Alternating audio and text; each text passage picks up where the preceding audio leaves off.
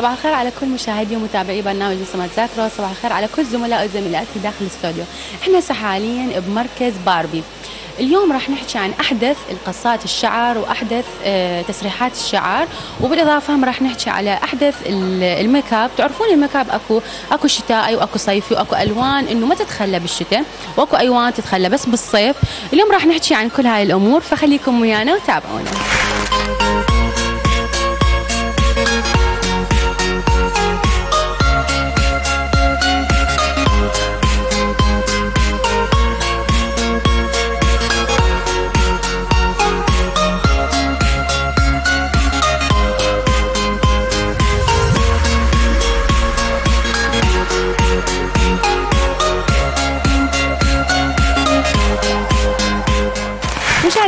إحنا حاليا آه، بغرفة آه، الميك أب.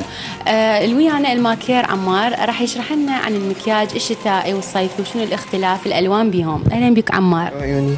أكيد الميك أب بيكون مختلف. عندنا ميك أب صباحي عندنا ميك أب سهرات. عندنا ميك أب يكون ميك أب عرايس. عندنا ميك أب الشتاء عندنا الصيف راح يختلف عن هذا الشيء okay؟ يختلف إنه بالألوان. دائما الشتائي يكون يعني آه، الملابس أكثر شيء يلبسوها يكون طواخات اللي هو اللون الأسود أو الأحمر. فدائما يكون المكياج أحسه يكون آه، كلش بارز. نقول مثلا يعني نقول طوخ. الحمرة أو السموكي بالضبط. العافية مثل ما نقول okay. آه، والصيفي حسب الألوان. دائما تكون يلبسون ال- الفاتحة اللي هي الأصفر البرتقالي يكون ال- المكياج يكون وياها فاتح. ألوان ربيعية مثل ما نقول okay. ألوان تكون فاتحة يعني مو دائما غامقة. آه، نركز أكثر شيء إنه ميك اب يكون يعني صباح يكون simple مو مثل ميك اب السهرة. ميك اب السهرة يكون قوي okay. وشي ميك اب عن ميك اب يختلف. أكيد هم يعني الاهم إنه نوع البشرة. البنيه إذا كان يعني إذا كانت سمراء أو حنطاوية أو بيضاء أكيد لازم نختار الدرجة الصحيحة لل foundation حتى إنه تكون مضبوطة ويا الوجه ويا وجه البشرة. آه، أكيد آه، شوف هو هاي الطريقة اللي هو نختار ال foundation نوع البشرة هاي مو بسهولة إنه أحد يختارها برأيك يعني شنو تنصح يعني كالبنات إنه شلون يختارون ال foundation المناسب للبشرة مالتهم؟ الدرجة الصحيحة على بشرتهم ولازم يختارون ال- الشيء المناسب لوجههم. أكو بشرة جافة أكو بشرة دهنيه أكو بشرة مختلطة تكون بهذا الشيء. فكل شيء متوفر بأنواع الفونديشنات للبشرة. فلازم يختارون ال foundation الصحيح حتى يستخدموه على بشرتهم. أكيد. powder أو ال loose powder أكو بنات يفضلون إنه يستخدمون فقط ال foundation بدون powder وأكو بنات لا يحبون يستخدمون ال foundation زائدا ال powder أو ال loose powder. القصد إنه أنا قلت لك شنو إنه اريدك تقول لهم إنه شنو الطريقة إنه شلون يختارون اللون يعني المناسب للبشره، يعني مرات هواي يصير أخطاء إنه يشترون ال foundation ويشوفوه بالمحل إنه هو تمام okay من يستخدموه بالبيت إنه ينصدمون بالنتيجة. لازم يستخدمون ال foundation اولا بطريقة صحيحة توزيع على الوجه على البشرة. وثاني شيء لازم يختارون الدرجة الصحيحة لبشرتهم. أكو بنات تستخدم مثلا أكو بنات بشرتهم بيضة مثلا تستخدم ال foundation أسمر. وراح يفرق طبعا أكيد. راح يكون فرق بين ال- البشرة مالتها وال وال foundation اللي اختارته. فراح يسبب لها يجوز مشاكل أو بعد فترة أو مو full cover مثل ما نقول. راح يسبب لها إنه ببشرتها إنه راح يتغير لون لون البشرة okay؟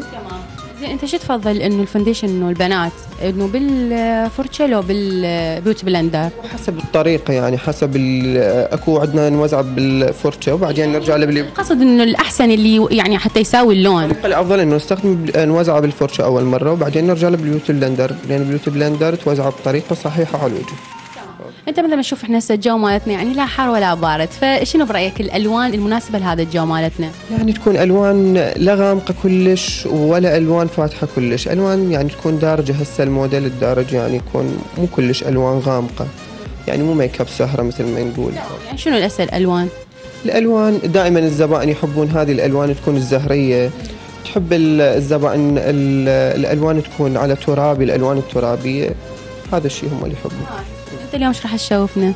اليوم راح نشتغل عليه شيء حلو simple okay وإن شاء الله حتشوفين نشتغل okay مشاهدينا مستمرين فخليكم ويانا.